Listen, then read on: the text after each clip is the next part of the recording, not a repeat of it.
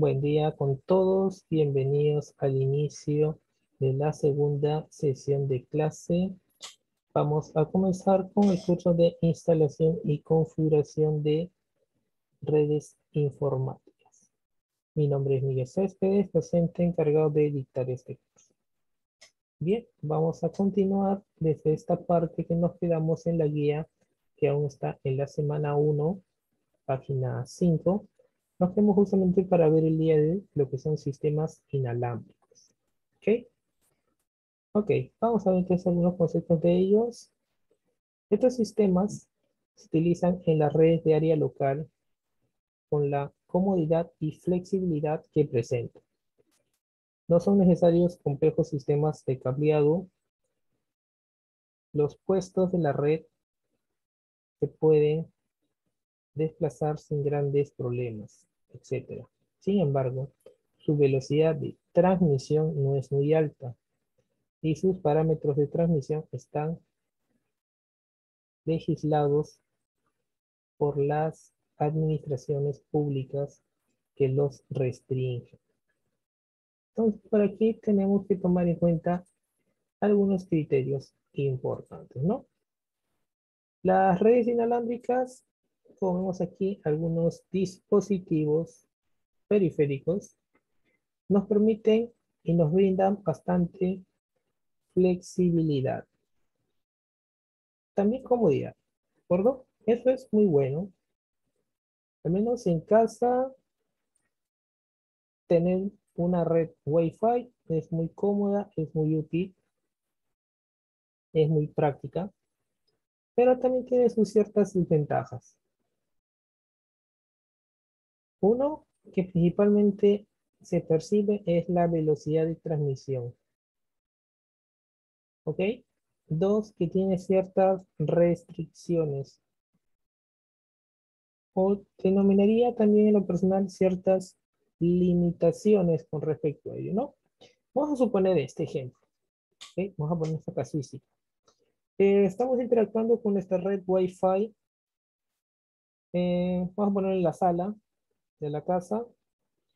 Y pues vamos a ir a otra habitación, a otro espacio separado por paredes, ¿de acuerdo? Entramos a otra habitación y de acuerdo a la dimensión, al espacio, a la factibilidad técnica que tenga ello, mm, el Wi-Fi le podemos sacar provecho o no. ¿A qué me refiero? Por aquí un pequeño esquema. Vamos a suponer que todo este espacio de aquí es nuestra sala, ¿ok? Figuradamente. Nuestra red Wi-Fi está por aquí. Está por aquí, ¿ok? Nuestro modem, nuestro está por aquí. Ya está ahí todo tranquilo en todo ese radio. Pero si por alguna razón, ¿no? Nosotros cambiamos de espacio y vamos a suponer que este sea otro espacio más amplio y dentro de este espacio más amplio se encuentra por aquí eh, una habitación. En este defecto por aquí hay una pared. ¿Ok? Ahora, si tenemos la suerte que por aquí hay una puerta. ¿Ok? Entonces, gracias a ello, nuestra señal de red Wi-Fi que emana 360 por este parámetro pueda ingresar y conectarnos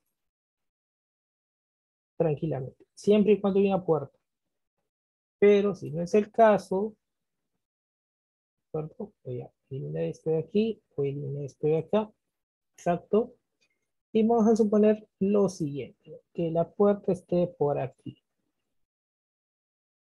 Ok, la señal posiblemente, eso sí hay que decirlo, posiblemente tenga un alcance, de acuerdo a la distancia, que llega hasta por aquí, a un efecto de una manera u otra rebote por acá, nos pueda proporcionar nuestra eh, señal, nuestra conexión a internet, pero eso sí, eso es un hecho, no es muy alta la velocidad de transmisión que nosotros vamos a tener. ¿Ok? Eso sí, hay que aclarar. ¿De acuerdo? Que tener cuidado con ello. Bien, entonces consideramos estos puntos, ¿no? Que no son tan favorables, pero son cosas que nos pasan. Más aún, ¿ok? Si tenemos por aquí un espacio mucho más distante, y aparte esta habitación que hay paredes, hay otra habitación que tiene más paredes, y otra habitación por aquí que tiene más paredes, ¿sí? Vamos a tener estos percances técnicos, porque acá sí, de hecho, que la cobertura, por más que llegue, por más que se expanda, pues no va a llegar. Y si nosotros nos encontramos, digamos, en este espacio, porque tenemos la interferencia de todas estas paredes. Sin contabilizar que posiblemente, por como esté generado la estructura de nuestra casa, pongámosle que por aquí otro espacio y otras paredes por A, B, C razones. Entonces, esto sí, la red Wi-Fi es que va a estar haciendo esta situación. Borra esto de acá, borra esto de acá, borra esto de aquí. Genial. Esta red Wi-Fi sería genial que sea tan... Que se vaya por aquí, que haga una pequeña curva, que siga, que siga, que siga, que siga. Y que haga otra curva y que se conecte por aquí, porque justamente acá nos encontramos. ¿Ok? Muy raro que pase esto, muy extraño que no tenga cobertura cuando sucede este tipo de conexiones, ¿sí? Así que por esa parte consideraría una ligera desventaja que tenemos con nuestra red Wi-Fi. Bien, entonces tomando en consideraciones ¿no? las ligeras desventajas que nos proporciona justamente el tener una red Wi-Fi.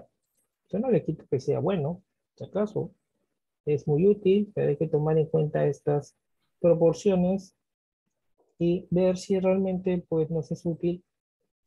Y no es que no sea útil tampoco, sino que no sea útil en el espacio que estamos geográficamente. Eh, lo cual podemos ayudarnos de lo que se denomina un repetidor o usar pues en su defecto un access point para apoyarnos en el espacio que necesitamos, que sea indispensable para poder conectar. Pocas palabras, se dice preparaciones. Ok, tomar un punto con cableado y trabajar con un access point, que es necesario e indispensable. Bueno, a ver por aquí, ¿qué nos dice? Avancemos, no quiero hacer tanta teoría, quiero avanzar un poco de práctica también con ustedes. Dispositivos inalámbricos utilizados en las redes de área local punto de acceso con doble antena. punto de acceso se llama access point, tiene dos antenas, dos dipolos, tarjeta de red inalámbrica con interfaz USB, que hace referencia justamente aquí al color crema. Al de la izquierda y tarjeta de red PSI con interfaz inalámbrico con, única, con una única antena, que está al lado derecho. ¿Sí? Bien. Entonces, básicamente, esto es el criterio muy puntual de lo que va con tarjetas de redes. A ver, vamos entonces, aquí está justamente a lo que hacía la reflexión, ¿no? ¿Qué es lo que pasa con nuestra determinada red? Cuando va, y eso tiene efecto con una pared, ¿qué pasa en nuestra señal? Rebota, ¿sí? Como un cuarto que estemos tener en este caso un eco, ¿no? Eso es lo que nosotros vamos por aquí a tomar en cuenta qué es lo que sucede con nuestra respectiva red. ¿Ok? Bien. A ver, vamos con esta parte de la actividad S. ¿Cuándo usarías cables de pares UTP y cuándo usarías cables STP? ¿Qué ventajas e inconvenientes tendrías al sustituir el cable STP por fibra óptica. Muy bien. A ver, pues por esta primera parte, como una retroalimentación. Y también por aquí recordarles que cada sesión de clase se evalúa su participación. ¿Ok? Entonces vamos aquí notar participación de instalación y configuración. Voy a poner por aquí la fecha. Estamos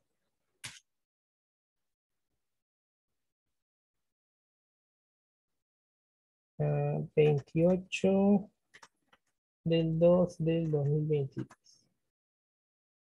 Ok. Bien, entonces por aquí vamos a anotar la participación de los presentes. ¿De acuerdo? Muy bien. Entonces viene la primera pregunta, ¿no? Eh, haciendo a la vez una retroalimentación de lo que hicimos en la clase anterior. ¿Cuándo usarías cables de par UTP y cuándo usarías un cable STP? ¿De acuerdo? A ver, adelante, los escucho. ¿Quién está en clase? ¿Quién participa? Ya, a ver, vamos por aquí a anotar tu participación. A ver, adelante, te escuchamos. Eh, profesor, el cable UTP creo que se usaría cuando eh, queremos hacer una instalación solamente en un espacio pequeño, por ejemplo, un hogar, o sea, una casa o tal vez una oficina. Eh, el cable STP ya es como para compañías porque es como que de una gama más alta y tiene la banda ancha. Mm, ya, eso es aparte de la pregunta. Está bien relativamente lo que me has indicado. Ahora también viene la siguiente parte. ¿Ok? A ver, ¿qué ventajas e inconvenientes tendrás o tendría al sustituir el cable STP por fibra óptica?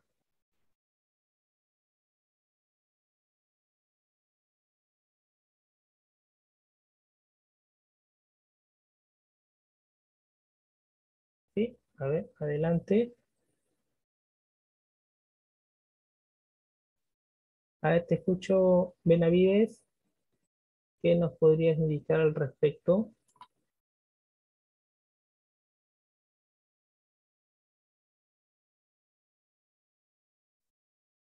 ¿Sí? ¿Consideras que hay una ventaja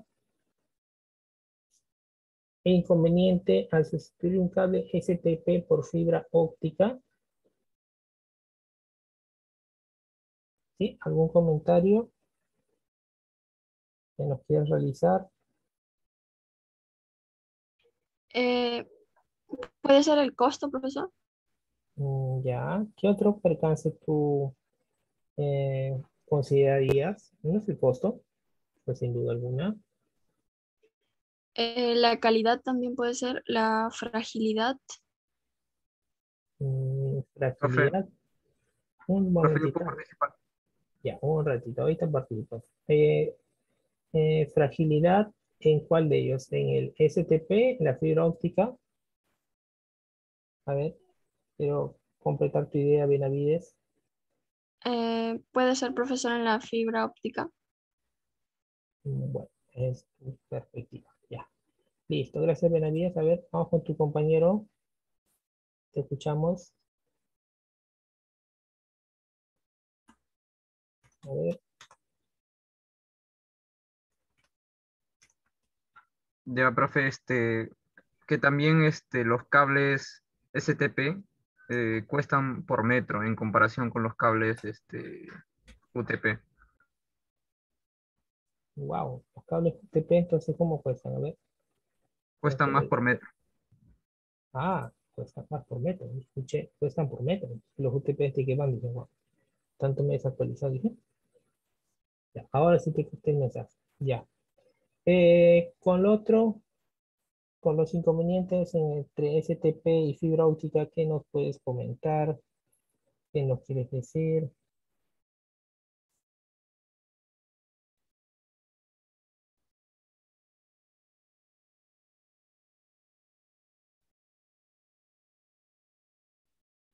Como profe, ¿podía repetir? No escuché muy bien. Eh, con respecto a qué ventaja y desventaja e inconvenientes tendrías al sustituir el cable STP por fibra óptica.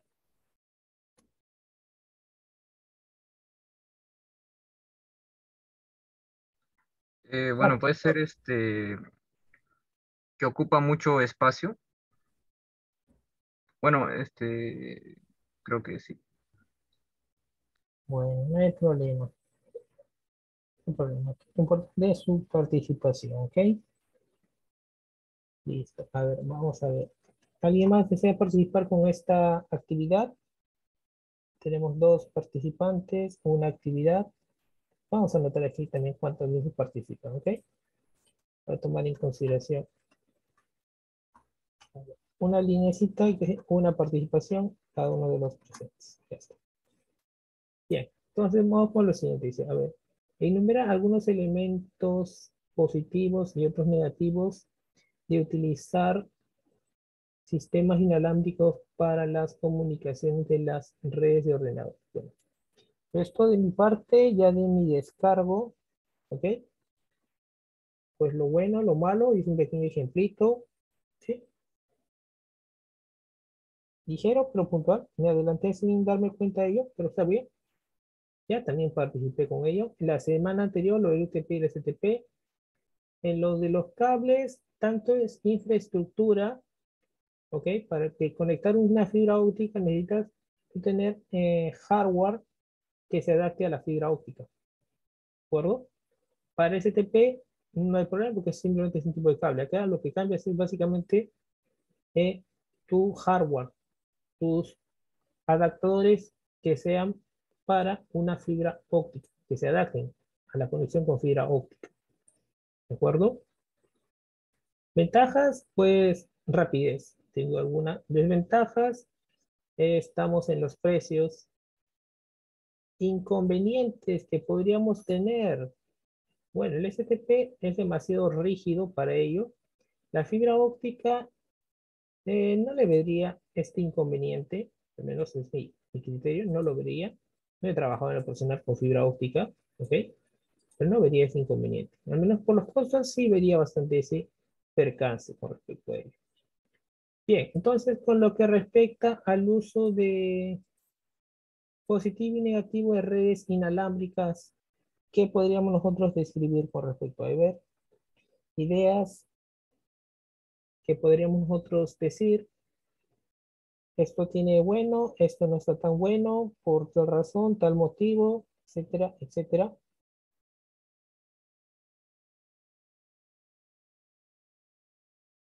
Sí, adelante.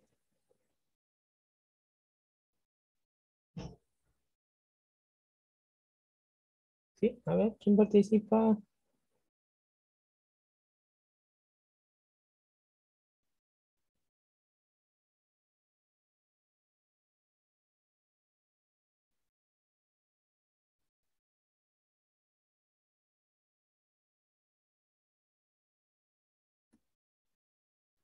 ¿Alguien que participe? Adelante.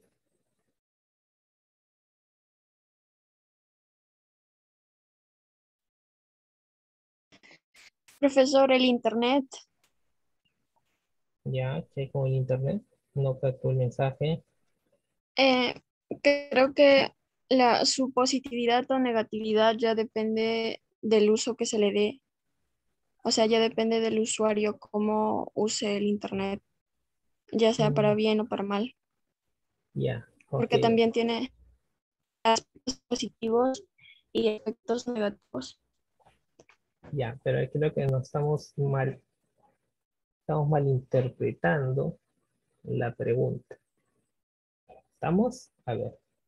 La preguntita es, ¿no? Enumera algunos elementos, elementos positivos, ¿ok? Y otros negativos de utilizar un sistema Wi-Fi. Si tú usas un sistema o adaptas, ok, el Wi-Fi, ¿qué positivo hace obtener con usar un sistema Wi-Fi y qué cosas mm, negativas podrías tener o qué beneficios y qué problemas, percances, inconvenientes al tener una red Wi-Fi. Sí, a ver, simplifica así un poquito el contexto para no malinterpretarnos. ¿De acuerdo? Eh, dentro de las desventajas puede estar eh, las interferencias. Ya, esa es una buena desventaja. Excelente. Y que otra, mm, bueno, conforme tenemos una desventaja, ¿qué ventaja por ahí podríamos señalar? Bueno, todo es malo. Como toda fortaleza, hay una debilidad. Como toda amenaza, hay una oportunidad. ¿De acuerdo? A ver. Coméntanos. Creo que, pues, todos trabajamos con el móvil, ¿no? De una u otra manera, no necesariamente para la clase, pero sí con el móvil trabajamos de una u otra manera. Entonces, por defecto, sabemos qué ventajas y ventajas nos va a proporcionar nuestra red Wi-Fi. ¿Sí? A ver, ¿cómo cuál? Ya les di unos ejemplos. Profe, eh, una, de las ventajas, una de las ventajas creo que es que permite reubicar las estaciones de trabajo eh, con facilidad. Eso es cierto, muy bien, buen punto ahí. Muy bien, buen punto. Nos permite reestructurar nuestras redes de trabajo denominadas estaciones de trabajo. sí, y además que también este, la instalación es más rápida porque no se usa cables tampoco. Claro, tenemos esa ventaja de tener esta gran flexibilidad. Facilidad de uso, profesor. Facilidad de uso, no necesitas instalación, solamente una, eh, digamos, mm, reestructuración Reubicación, más que restitución, reubicación. Y genial. Y lo puedes implementar en el momento que tú quieras. Y tienes cobertura 360 eh, de todo el espacio que te rodea. Tiene esa cobertura. Es cierto. Eso también depende mucho donde este, pongas la cobertura Wi-Fi. Exacto. Y esa es otra desventaja. ¿Cuál es la ventaja? El, el espacio o el ambiente que esté en la red Wi-Fi. Generado por obstáculos que bloqueen la señal Wi-Fi.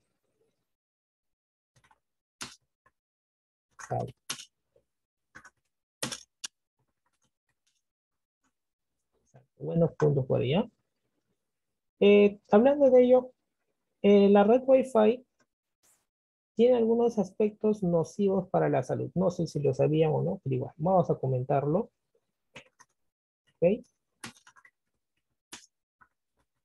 ¿Alguien de ustedes sabe qué efectos nocivos existen con las redes Wi-Fi?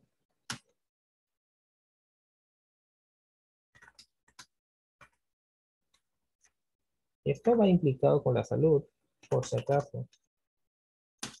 Yo no me refiero con la red Wi-Fi que porque tenemos el móvil o el access point y el móvil de la casa, sea esa parte no sirve por si acaso. Tampoco es el contexto de alarmarse con ellos, ¿no?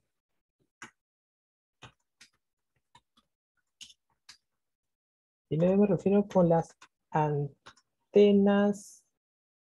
Sí, estas antenas tienen un nombre, bueno, estas antenas de torre, por llamarlo así. ¿Qué? Las antenas de torre. Que son estas antenas que tienen para compartimientos de comercialización de redes Wi-Fi. Exactamente. Para ello. Antenas panel, como se denomina. Estas antenas grandes, que ahorita lo muestro en internet, son nocivas para la salud. No lo sabía. ¿Por qué? Y por lo ok, como una introducción. Y ahorita vamos a verlo en internet. Eh, estas antenas generan de más cantidades de radiación. ¿Ok? para poder compartir las señales de Wi-Fi, las ondas electromagnéticas, ¿ok? Pero a grandes cantidades. Me refiero como el, el celular o la que comparte ondas electromagnéticas, ¿ok? Comparte esta radiación de una u otra manera, pero a una escala mm, tolerable por el cuerpo. Vamos a ponerlo así. ¿De acuerdo? En contrario, esta cantidad de magnitudes que te va a generar estas antenitas, que son antenotas, pues eso sí es nocivo para la salud de las personas. Entonces, aquí en contexto quiero indicar esto. Espero que nadie de ustedes tenga eh, la circunstancia de que cerca de su casa, en el radio de unos kilómetros, al menos de su casa, eh, exista justamente estas antenas que venden internet inalámbrico, ¿no?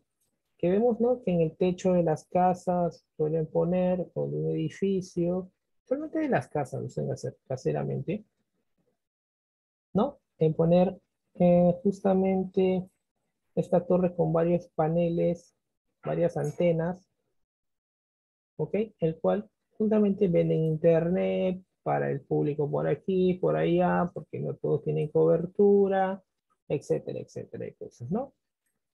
Lo cual, bueno. Beneficios, ok, ya, eso no, no se discute. El punto que voy es al aspecto de la salud, de lo nocivo que esto puede ser, o lo es, dicho. ¿Ok? Por eso el comentario que les hago de manera informativa es que alguien de ustedes no tenía conocimiento con respecto a ello. Y esto es algo que en Internet está bastante difundido, que viene ya de años. ¿Sí? Así que por esa parte, pues tener cuidado con ello.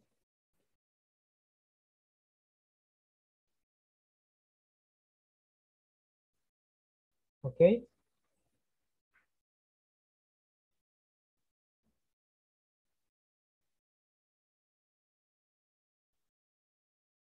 Bien, entonces vamos con el siguiente punto por aquí. A ver. Quiero buscar justamente estas antenitas por aquí. A ver, entonces, antenas para Wi-Fi. Antenas para Wi-Fi. A ver, saco Wi-Fi de largo alcance. Ahí está. Ahí está, estas antenas paneles. Vamos a ver por aquí. Antenas caseras, mm, no, no, no es lo que requiere antenas caseras. Ahí está, este tipo de antenitas es la que me refiero de las nocivas para las estas antenas panel. O estos tipos de antenitas. Que bueno, esto lo veo por la zona que vivo. Esto es justamente el labor que es esa antenita. Por aquí mi camarita para que tengan una idea, ¿no? Es, ¿no ve? Esa antenita es de una proporción alta envía esto tiene una antena en la casa. Ok, es una respectiva configuración, hardware, y te da a tu casita tu señal de internet inalámbrico. Ahora que otra antenita, por ejemplo. Ahí está, ¿no? ¿Qué hace? Pues esta especificación que le digo. Se comparte de esta manera. Internet Wi-Fi. Entonces, en el traslado ¿ok? La interactividad de señales de ondas, ondas electromagnéticas, es donde pasa todo este problema. En pocas palabras, todos aquellos que estén en, todo este radio que va justamente a abarcar o el espacio que va a poder generar la cobertura, ese espacio que va a ser vulnerable. Valga la aclaración, también que poner las cosas, pues especificarlos bien, para no alarmarlos innecesariamente. Si alguien por aquí, ¿no? Pasa en un lugar así, pero como dice, pasa porque pues, tienes que pasar con el carro, caminando, etcétera. Pero es algo distante de kilómetros, no varios kilómetros, mínimo cuatro, de donde tú vives, pues no hay problema. ¿De Si es una cuestión distante a donde tú vives y pasas a las 500 o pasas de caminas por ese lugar, pues no hay problema. La situación que se vuelve este perjudicial para la salud es cuando una persona habita cerca a este radio, este espacio, que justamente están estas antenitas. ¿Ok? Tampoco digo que esto te va a enfermar de la noche a la mañana. Tampoco es el caso. ¿Ok? Otro ejemplo. Acá está el ejemplo mejor. Mucho mejor por aquí. ¿De acuerdo? A ver, por aquí otro ejemplito que me puede servir para mm, especificar. Está genial, pero está muy borroso el polémico. Pero acá está un pequeño ejemplo. Esto está. Buscando por aquí algún otro ejemplo. Que todo ese espacio justamente va a estar ah, afectado por esta radiación que va a enviar estas ondas electromagnéticas. Esto en realidad va a dañar, acá está otro ejemplo, wow. ¿Ok? En el plazo de, en el lapso de años, ¿ok? Va a comenzar a, generar enfermedades a las personas en el plazo de años. ¿Sí? Acá está. Esto me refiero. A esto me refiero. Eso es lo que al menos por la zona que yo vivo lo he visto a distancia.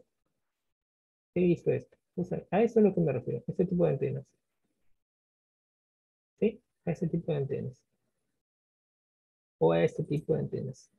Usualmente esa es la manera como se visualiza ello, ¿no? Así también he visto varios de ellos. ¿Ok? Así que por ende, pues les tengo que informar porque parte de lo que nosotros hacemos, tienen que tomar en, en ese caso la seguridad y el bienestar. ¿De acuerdo? Yo me refiero a que tú seas el técnico que instala todo esto. Ese no es el caso casos son para las personas que habitan cerca de ese parámetro. Cerca de ello. Y pues están ahí todos los días porque es el lugar donde tú vives, ¿no? Ahí va el percance de lo nocivo que es para la salud. ¿Sí? Entonces son cosas que hay que indicar. Yo no les cuento con ello que la red Wi-Fi sea útil. Es útil, pero también tiene sus desventajas para la salud. ¿Ok?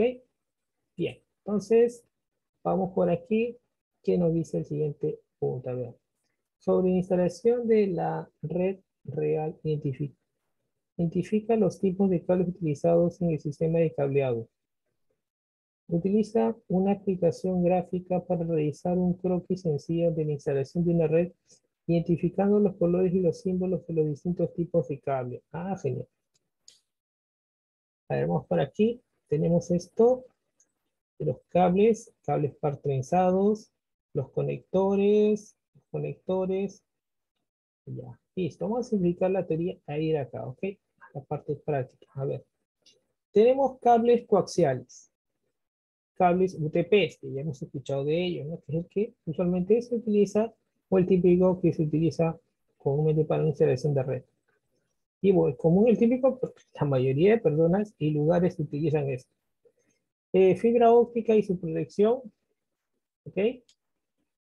Conector RJ45. Eh, conector TB25. Eh, conector DB9. ¿Ok? Esto claro. Estos son los conectores que se usaban anteriormente para las impresoras, bueno, no antiguamente, corrijo.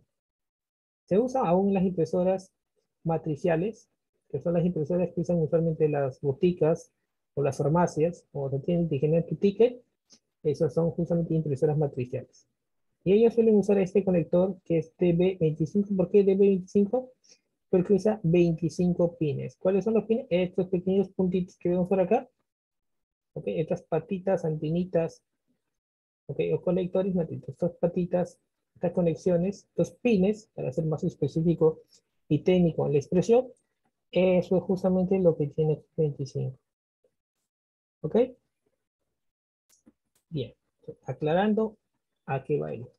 Bien, ese conector DB9 es lo que se usa cuando uno tiene una conexión VGA, la conexión de video VGA. Por acá tenemos componentes, ¿ok? Eh, BNC para conexión coaxial. ¿Sí? Básicamente, a ver, les resumo. Eh, si hemos usado el servicio de cable, ¿ok? Nos da una conexión coaxial con este tipo de conector. ¿Sí? Vale, es lo mismo que se usa para este tipo de conexión de redes. ¿Sí? Tenemos el conector RJ45. Bueno, muy similar, solo que acá está ya ponchado y todo. Y conectores y latiguillos para fibra óptica, igualmente. Accesorios por respecto a ¿Ok? Entonces tenemos por una parte cable UTP, cable coaxial y cable, cable de fibra óptica.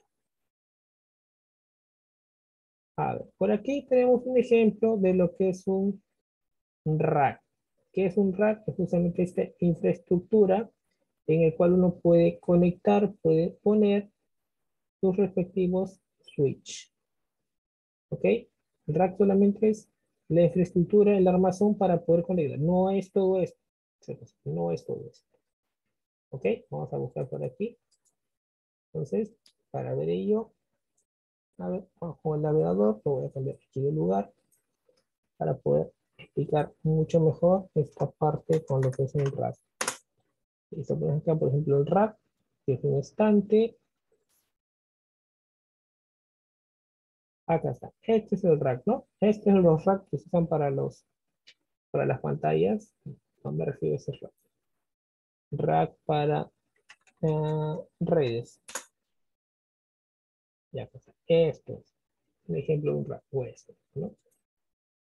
este armazón, este espacio para poder conectar nuestros switch. Acá hay una variedad de switch conectados, entrelazados entre sí. ¿De acuerdo? Este es lo que tenemos, nuestros switch.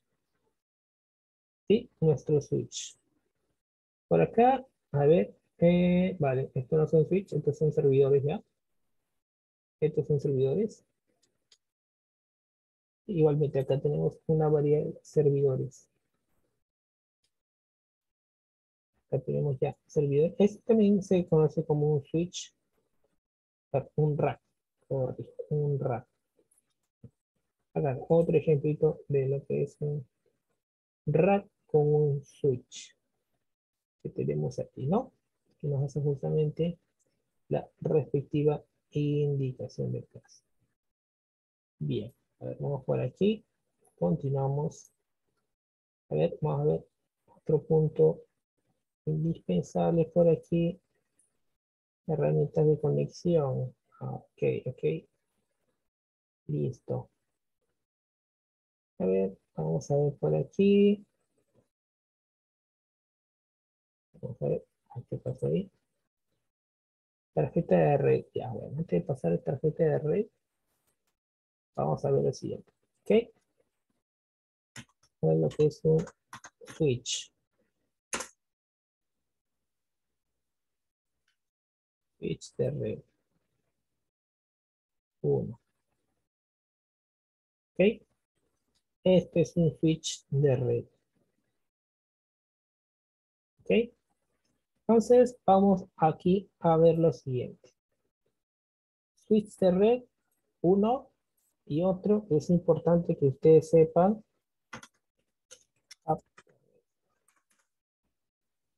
algo importante que hay que tener muy, muy en cuenta. Primero vamos con lo que es un switch. A ver, ¿qué nos dice por aquí Google? Un switch o conmutadora. Voy a poner más zoom porque esta es la parte importante que quiero aclarar con todos y que todos tengamos definido esto. ¿Ok?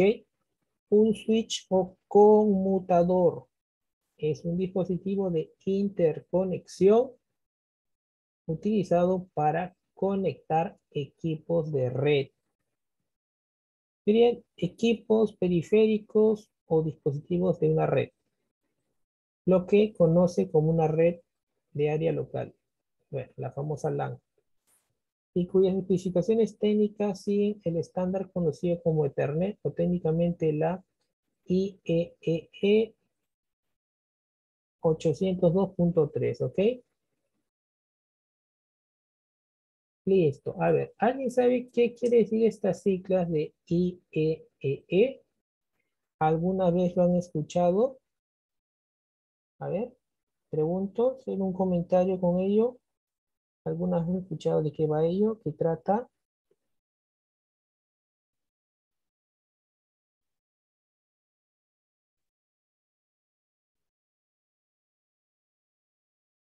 ¿Sí? ¿Alguien? Pues yo recomendaría si hay términos que no les son familiares, pues que lo busquen en internet, igualmente como hago yo. Me apoyo bastante de las TIC, el uso de internet para ello. ¿Sí?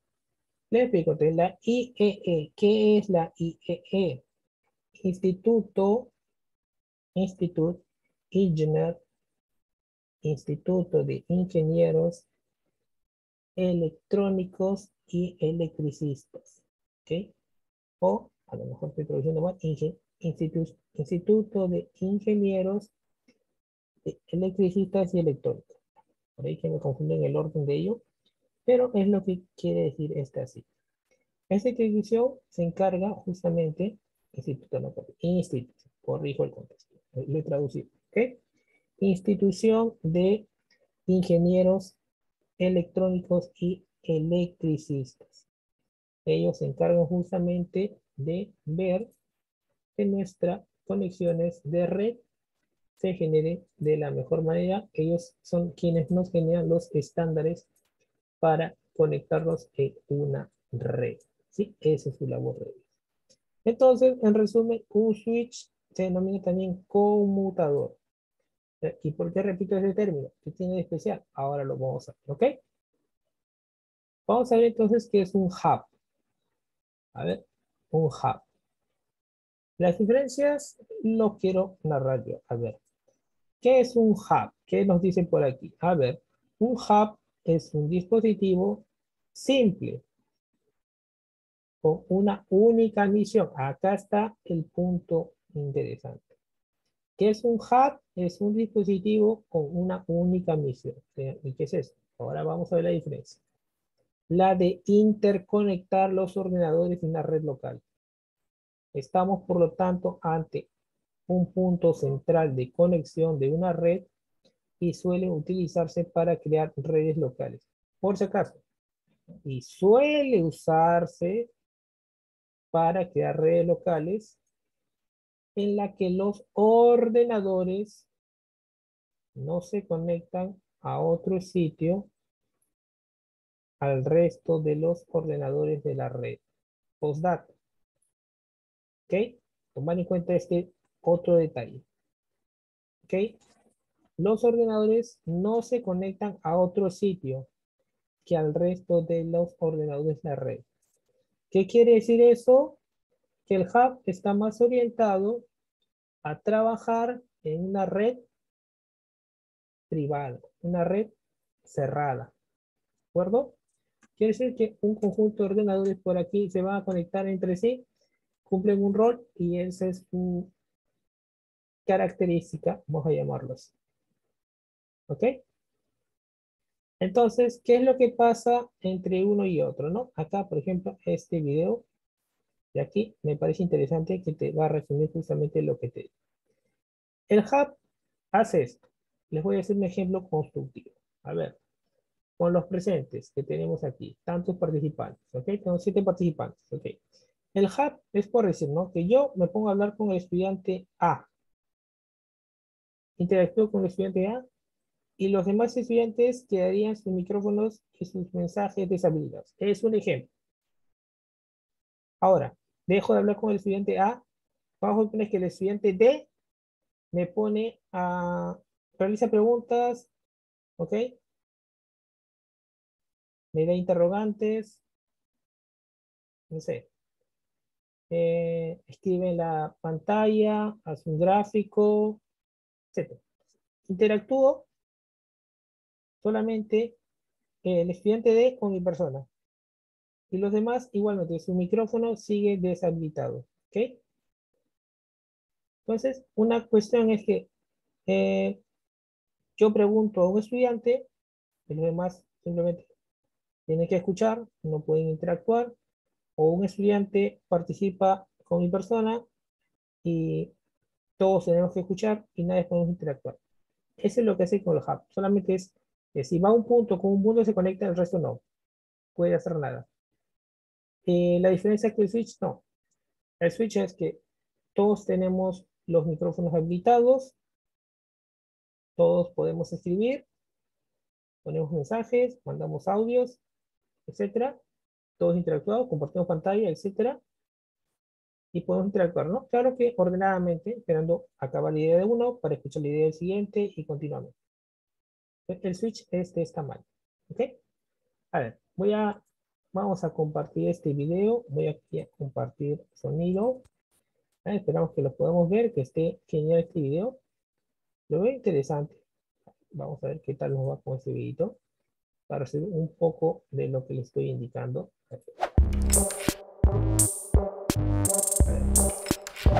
Saludos y bienvenidos a Tope Tecnológico, tu canal de tecnología.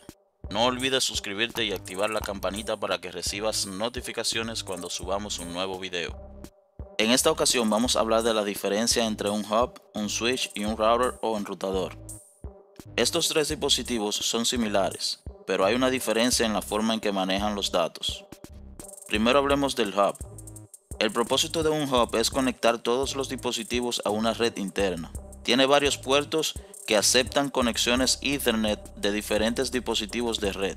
Es considerado como no inteligente porque no filtra los datos, es decir, que no sabe exactamente a dónde enviar dichos datos. Y eso se debe a que lo único que sabe un hub es cuando un dispositivo está conectado a uno de sus puertos. Cuando un paquete de datos llega a uno de los puertos, estos se copian a todos los demás, entonces el hub simplemente retransmitirá esos datos a cada puerto que tenga un dispositivo conectado. De modo que incluso si esta computadora solo quiere comunicarse con esta otra, las demás también recibirán los datos, aunque no estén destinados a ellas. Por lo que cuando esto sucede no solo genera un problema de seguridad, sino que también genera un tráfico innecesario en la red, que desperdicia ancho de banda. Un switch es muy similar a un hub, también es un dispositivo que tiene varios puertos que aceptan conexiones Ethernet de diferentes dispositivos de red. Pero a diferencia de un hub, un switch es inteligente. El switch puede aprender las direcciones físicas de los dispositivos que están conectados a él, almacenando estas direcciones conocidas como direcciones MAC en su tabla interna. Es decir, que cuando un paquete de datos se envía a un switch, este solo lo dirigirá al puerto de destino deseado, a diferencia del hub, que simplemente retransmitirá los datos a cada puerto que tenga un dispositivo conectado. Como ejemplo podemos ver que si esta computadora quiere comunicarse con esta otra, el paquete de datos llega al switch y luego este examinará su tabla de direcciones MAC con su correspondiente puerto para de esta forma entregar los datos al computador o dispositivo para el cual fue dirigido. De modo que esa es la principal diferencia entre un hub y un switch. Como resultado a esto, el switch es mucho más preferido que el hub porque reduce el tráfico innecesario en la red y además es más seguro.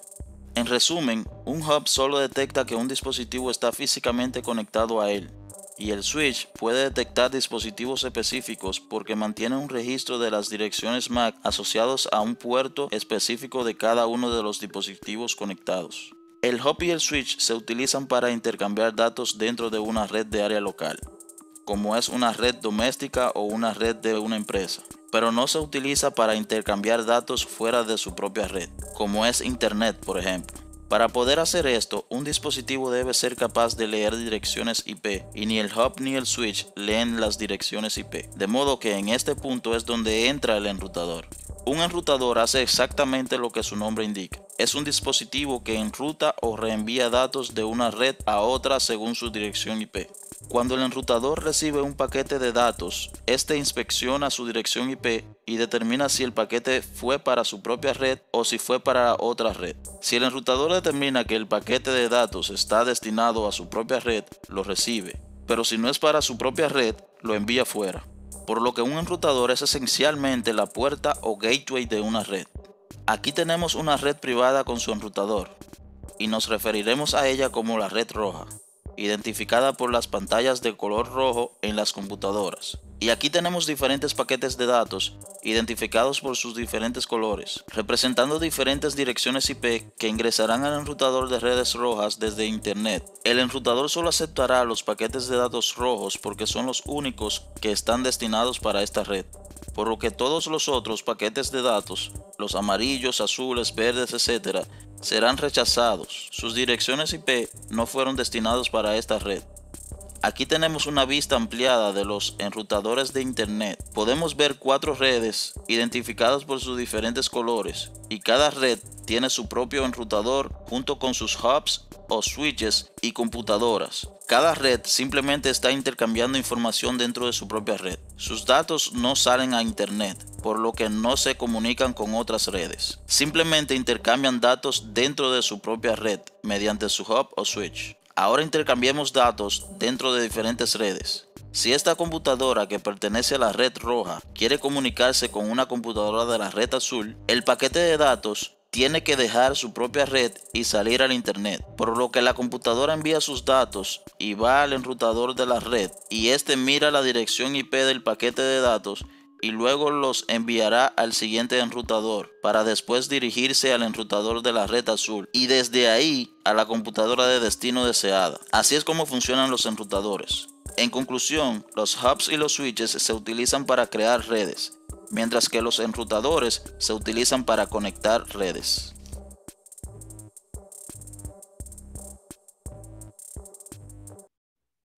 Bien, ¿no? Este video me pareció bastante interesante, muy constructivo con respecto a las cosas que quiero justamente eh, ver con ustedes.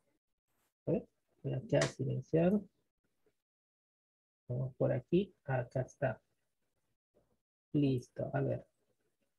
Entonces voy a usar esta imagen para el ejemplo y para hacer las respectivas intervenciones con el aula. ¿Ok? A ver, comenzamos. Primero, yo hice una pequeña indicación de lo que es el hub, ¿sí? Y lo que es el switch.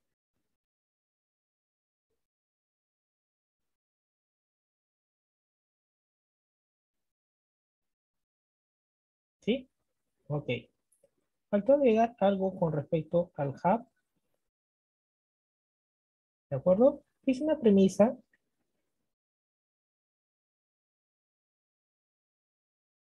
¿Ok? Y falta explicar algo más con respecto a ello también. Y acá en el video hemos visto la aclaración justamente de ello. Y está interesante en verdad con ello. Entonces, a ver. Usamos justamente el video como un molde por aquí. Este el hub. Chévere. Ahí está, ¿no? Esta parte del hub. A ver. Eh, ¿Qué hace el hub? A ver, me gustaría escuchar de ustedes sus intervenciones, sus opiniones con respecto a lo que hemos visto que es el hub. ¿Qué hace el hub? A ver, ¿quién desea interactuar, intervenir en clase? Solamente están participando dos estudiantes ya les se indicó en la primera sesión de clase. El hub simplemente es un dispositivo, este, su función principal es este, la de interconectar los ordenadores de una red local. Ya, muy bien, punto. Como les decía, se indicó en la primera clase, cada clase se evalúa sus intervenciones. ¿Sí? Ustedes mismos se califican en cada clase. Simplemente hago las preguntas del caso, espero.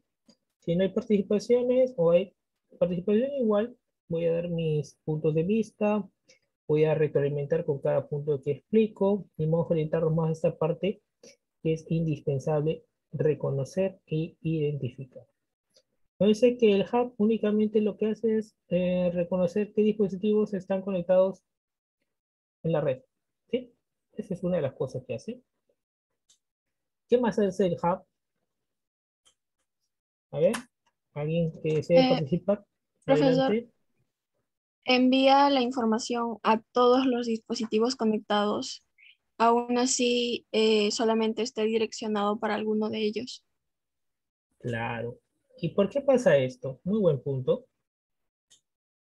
¿Por qué sucede ello? ¿Por qué eh, tiene que preguntar a todos que supuestamente es que con uno va a interactuar? Supuestamente. Eh, tal vez no está, no es tan inteligente o no está, no está programado para eso, profesor. Claro. Es otra de las cosas. También hay que tomar en cuenta lo siguiente. El hub trabaja a una velocidad de 10 megabytes por segundo. ¿Ok? En la actualidad, lo mínimo que trabajamos con el cable, con nuestro access point, con nuestro modem, ¿ok? Con nuestro router, es con una velocidad de 100 megabytes de transmisión de datos, ¿ok? Excepción, contemos con un hardware que trabaje a 1000 eh, megabytes por segundo y nuestra tarjeta de red también trabaje a 1000 megabytes por segundo. ¿Sí? Por ahí también van dos cosas importantes a tomar en cuenta. Si los dos dispositivos trabajan a la misma velocidad, genial. Te de tener un cable de muy buena categoría, en la categoría 7. ¿Ok? Si tu tarjeta de red trabaja con una velocidad de 100 megabytes y tu dispositivo de internet trabaja con una velocidad de 1000 megabytes, porque eh, la red se va justamente a adaptar a la velocidad más baja. En este caso es a los 100 megabytes. Únicamente va a trabajar esa velocidad muy baja. ¿Ok? Dos, el hub lo que hace es interactuar con todos los dispositivos porque es simplemente, como hemos visto en el video, eh, cuántos están, ¿cómo decir? Ejemplo. ¿Cuántos están presentes? En clase tenemos, por aquí, indica, tengo siete estudiantes. Ya. Listo. El hub está cumpliendo el rol como el docente, ¿no? Explica a todos por igual. Pregunta a todos por igual. ¿Sí? Eso es lo que hace el hub. Ahora, si la pregunta, uno que otro interviene, pues bien. ¿De acuerdo? Ese es el rol figurado de lo que hace el hub. Ahora, el detalle es que cuando el hub hace una pregunta, lo envía a todos. Pero ¿qué tal si la pregunta es específicamente para alguien? Pues el hub, en este caso, cuando quieres interactuar de PC1 a PC3, por ejemplo, que están conectados, que tiene una tabla de hub, ¿sí? tabla de reconocimiento de dispositivos que estén conectados. Eh, hub dice, bueno, el puerto 1 quiere conectarse con, quiere enviar un mensaje, pero no está en con quién. Siempre me dice, el puerto 1 va a enviar un mensaje, ¿de acuerdo?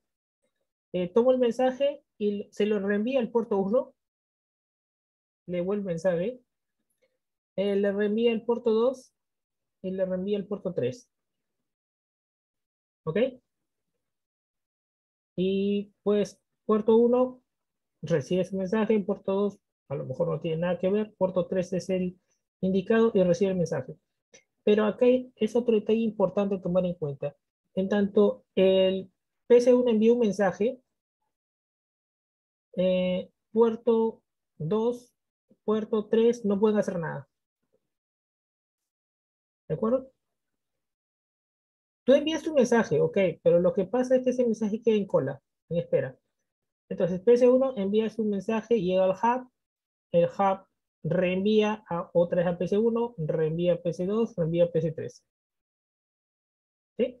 Y eso sucede y acabó, recién envía el mensaje. Ahora, PC2 se reenvía el mensaje a PC3 también. Otra vez, PC2 reenvía, envía el mensaje hub, hub le devuelve el mensaje al PC2, el hub le envía al PC1, no tiene nada que ver acá, pero lo envía, y le envía al PC3. En todo ese espacio de tiempo del proceso de intercambio de información, eh, PC1 ni PC3 pueden hacer nada. Es por eso, como hemos visto, eh, ocupa más ancho de banda, ¿ok? Ocupa mayor cantidad de recursos, nos prolonga el tiempo de intercambio de información. Entonces, ¿es ventajoso? Pues la verdad no le veo nada ventajoso. Eh, no nos brinda seguridad tampoco, como hemos visto, es otra sensibilidad. Eso es como el hub. Ahora, por aquí vamos a ver, acá está el switch. A ver, a ver, tiene aquí los datos. Acá ya se pasó, por acá es. Esa parte también quería mostrar con el switch. Ok. Eh, ¿Qué diferencia hay con el switch? Eh, ya es justamente un dispositivo inteligente. ¿Por qué? Vamos a suponer, ¿no? Que yo quiero interactuar con alguien del aula. Vamos a hacer este ejemplo constructivo. ¿Ok? Entonces, yo voy aquí, no, que los participantes no, yo iría al chat, ¿vale? Y por decir, ¿no? Eh, voy a enviar y elijo uno de ellos. Por ejemplo, a ver, aquí. Ok. Y le hago una pregunta. A lo mejor se ve compartir en pantalla, pero es un ejemplo al final de todo. Ok, le digo, a ver. Eh, hace una punta directa. Define qué es. Define y comenta que hace el switch. Este es un ejemplo de lo que hace el switch. El switch va directo. A ver, aquí hay que mensajear. En este caso yo soy el PC1. Le envío a PC tal, ¿no? PC3. Como el ejemplo que es el decir. Entonces lo que hace el switch primero es identificar, como tener una lista de asistencia. A ver, eh, turno, ciclo, módulo, curso, especialidad. Ya está.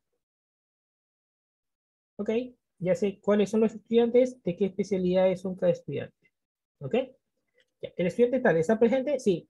¿Cómo se ¿El estudiante está conectado? Sí, está conectado. Ok. Eh, ¿Cuáles son sus datos? Tal, tal. ¿Cuál es su especialidad? Tal. Listo. Ok. Procedo a enviar un mensaje como lo que he hecho ahorita. Ok. Y por lo que veo no hay respuesta.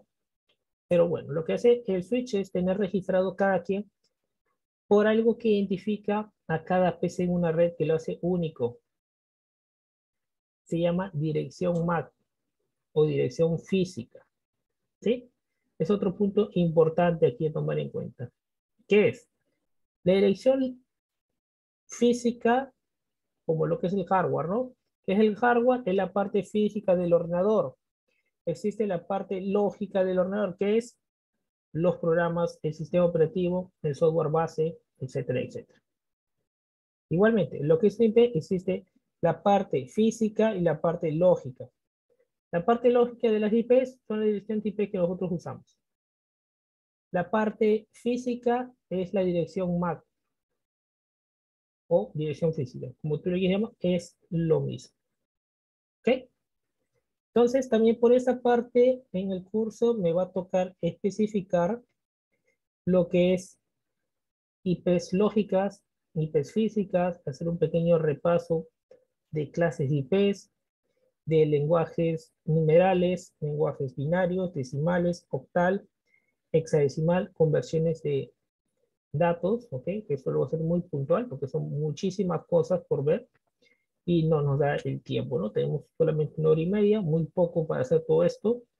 Y quiero que al menos ustedes tengan una premisa de lo que es esto, de qué trabaja, qué es cada uno de ellos, cómo se forma, cómo se genera, etcétera, etcétera. ¿Sí? Tomar en cuenta ello. Entonces, en resumen, lo que hace el switch es tener registrado cada ordenador por su dirección MAC. La dirección MAC es como decir, tener registrado cada estudiante por su DNI. El DNI del estudiante, ¿ok? No lo va a tener otro. Podría ser que coincidan, que tengas un homónimo, ¿no? Que coinciden todos tus datos, pero no va a coincidir tu DNI. ¿De acuerdo? Tampoco en tu manera de ser. que a lo mejor en un que sí participa y el otro a lo mejor no. Pues, pues, ahí está la diferencia. Bueno, tu DNI y tu actitud. Son dos cosas que te diferencian. Igual, con las direcciones MAC son direcciones únicas. Dos, ¿quién tiene la dirección MAC? La tarjeta de red. Profesor, pero si es un switch, ¿el switch tiene dirección MAC? A ver, pregunta capciosa. ¿Los switch tienen dirección MAC? Sí, no, tal vez, posiblemente. Le compras, le prestas, le regalas. Sí tienen. Creo que te escucho, no sé, lo mejor te escuché mal, a ver. ¿Nos indicas? Tú dices elecciones Mac. ¿Tienen Switch, señorita? Sí, profesor. Ya, a ver, ¿qué dice tu compañero? Veo que solamente con dos estudiantes dejado clase. Bueno, vamos a ver, tu compañero, ¿qué nos dice? ¿Tiene, no tiene? Sí tiene, profesor. Sí tiene. Ok, bueno. Explico, ya claro. Los switch administrativos, aclarando, switch administrativos si tienen direcciones MAC. Administrativos. Los switch que usualmente se usan, menos le digo en este contexto se usa, eh, básicamente yo me baso las cosas que les comento de las experiencias que he tenido trabajando en institutos haciendo soporte técnico. De ahí viene mi experiencia de contarte que el cable por aquí, que el cable por allá, que el switch por aquí, que el switch por allá, que el hub por aquí, que el router por aquí, que el access point por aquí, que el repetidor por allá. Son cosas, experiencias reales que yo he vivido haciendo soporte en institutos. ¿sí?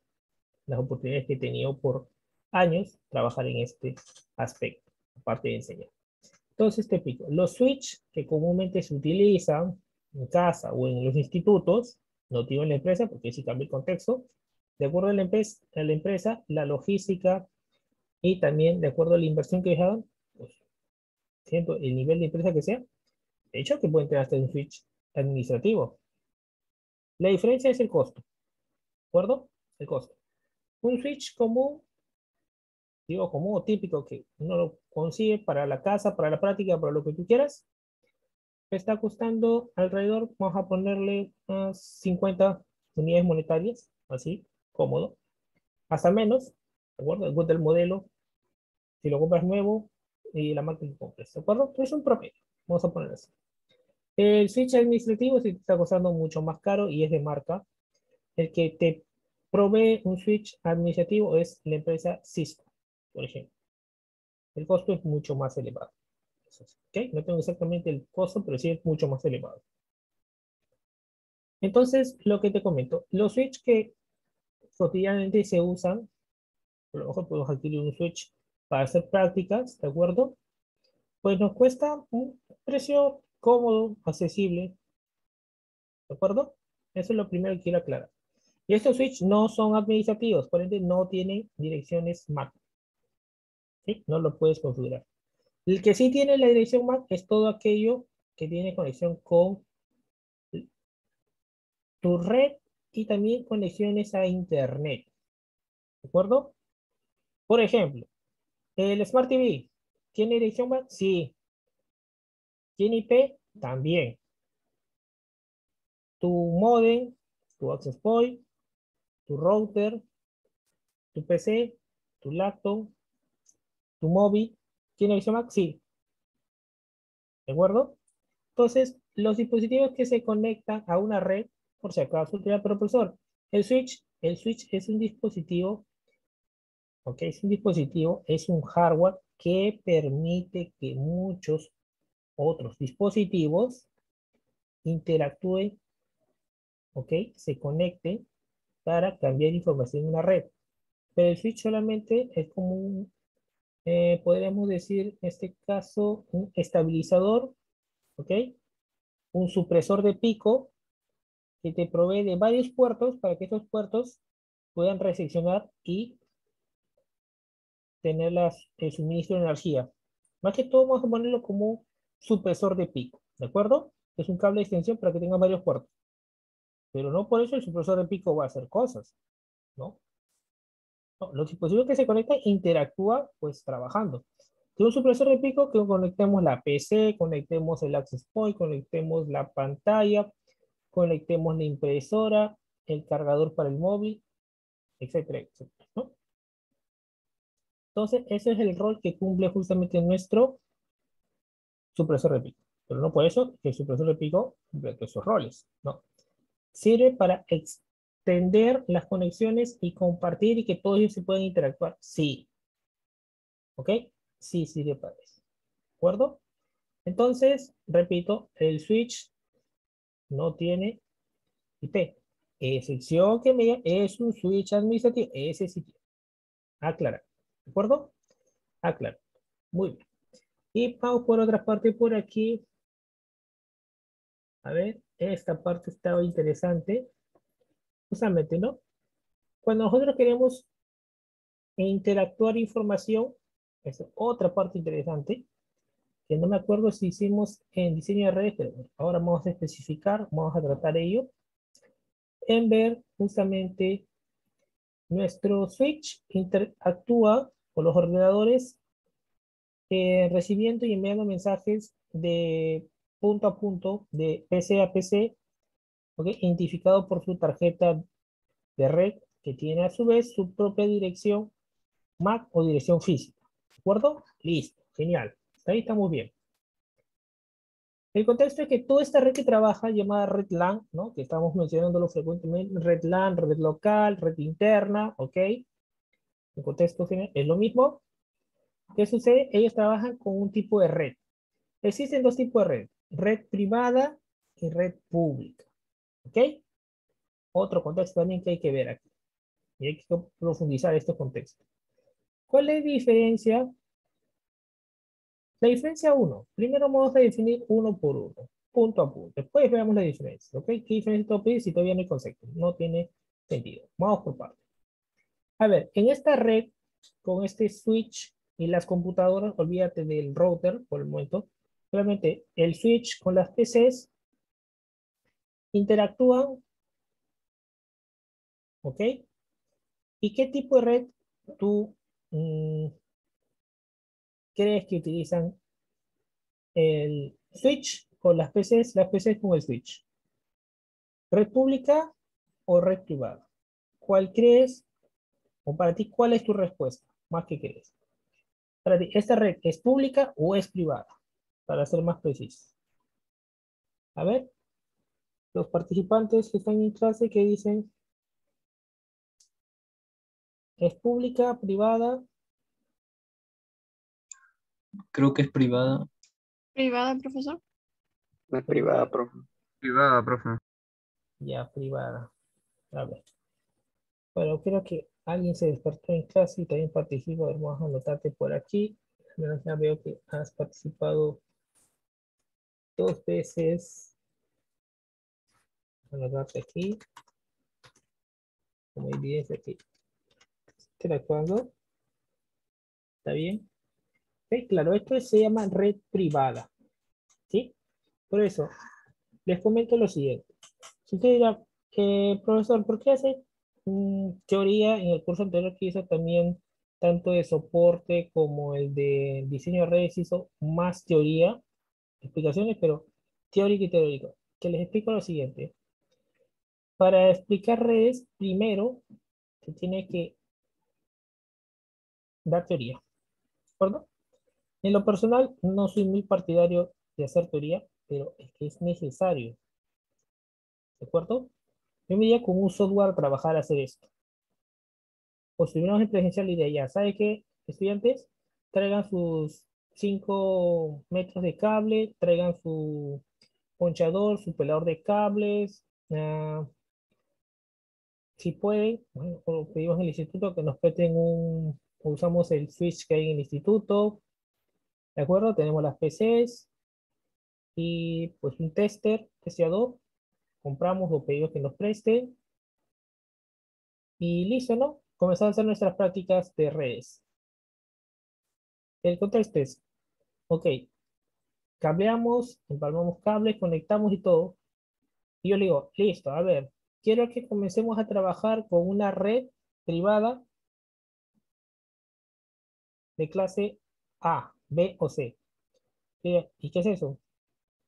Eso soy clase A, B, C. Encima red privada. Por eso hay que hacer teoría, hay que explicar. Dos, yo les pregunto, a ver, si trabajo con un hub y el grupo A trabaja con un switch, ¿cuál es la diferencia que tendría el grupo A con el grupo B? ¿De acuerdo? Al menos que le mande un trabajo de investigación, a que pongas a hacer, investigar, tomar en cuenta. Cuando uno investiga, interpreta lo que entiende. Es lo normal. Está bien.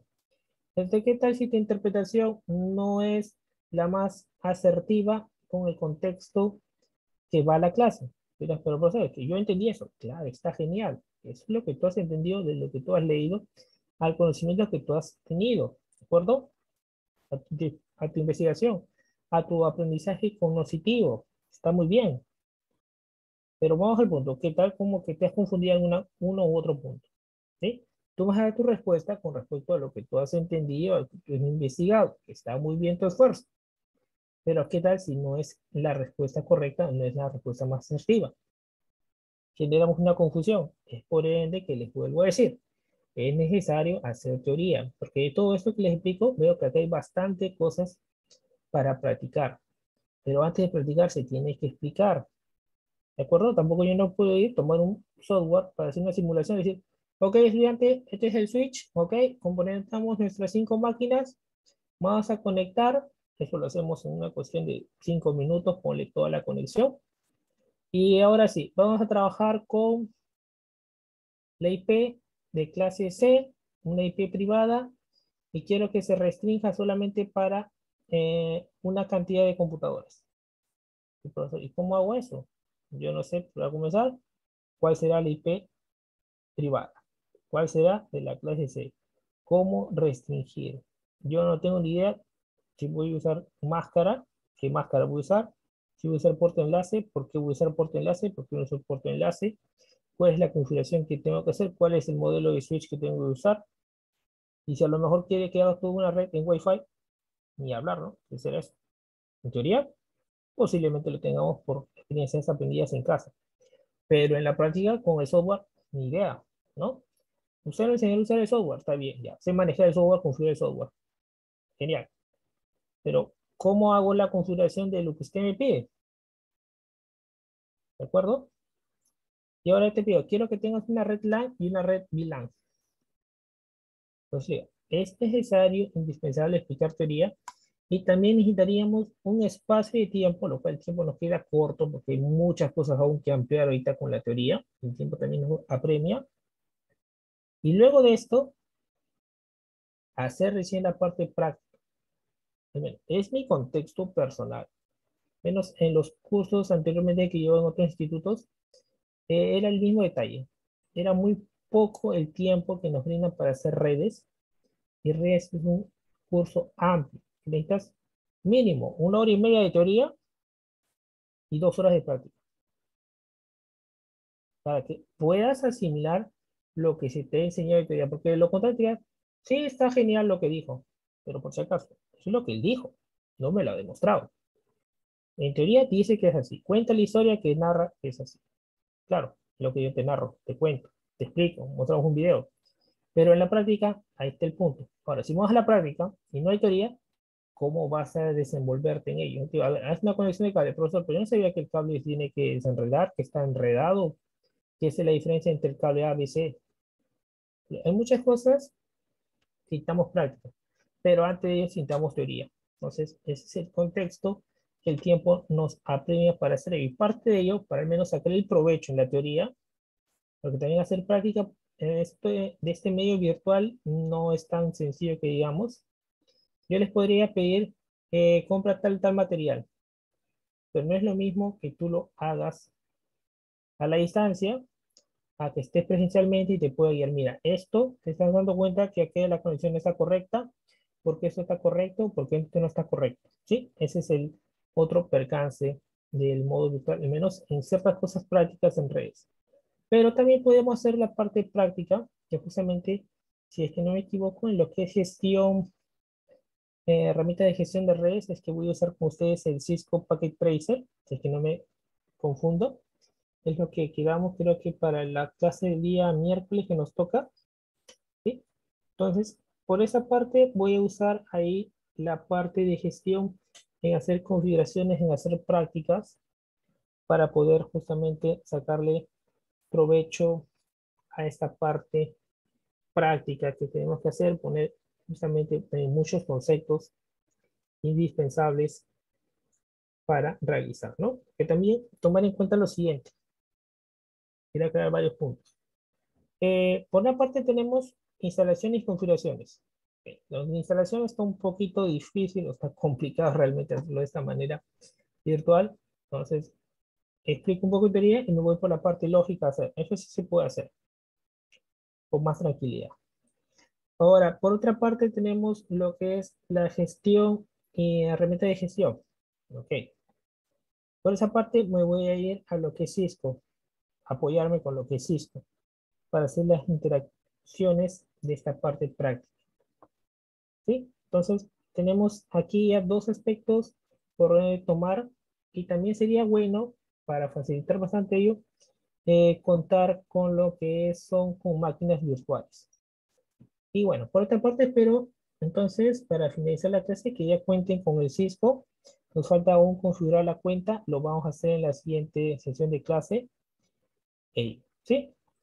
Bien, entonces con ello estamos aquí con los switch. Como les digo, necesitan sus IPs, direcciones físicas y lo que hace es intercambiar información en su red privada. Ahora, si tenemos otros salida para una red externa, eso necesitamos un router. Y con ello conlleva la configuración necesaria para tener salida a una red pública. ¿Sí? Y bueno, ahí faltaría aún la explicación del rol que cumplen los routers con los routers, que es justamente esta parte de acá.